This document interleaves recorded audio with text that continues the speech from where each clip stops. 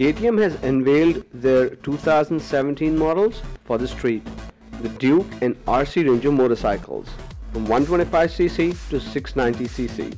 The Duke 125 makes 15 horsepower at 9500 rpm and 12 newton meter torque at 8000 rpm.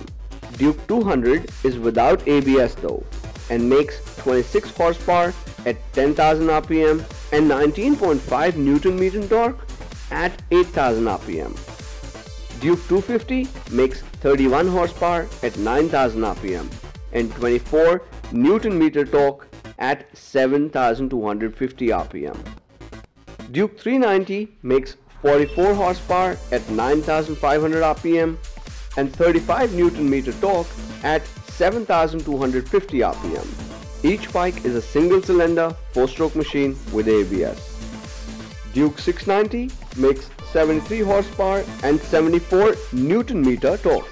All of them have steel trellis frame with powder coating, 4 piston 300 mm front disc, single piston floating caliper rear disc, stainless steel side mounted silencer, electric starter, liquid cooling, upside down front suspension and monoshocks at the rear.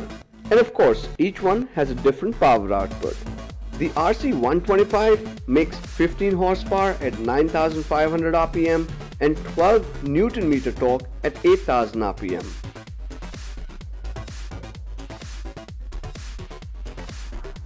RC200 is with ABS and makes 26 horsepower at 10,000 rpm and 19.5 Newton meter torque at 8000 rpm. RC250 makes 31 horsepower at 9000 rpm and 24 Newton meter torque at 7250 rpm.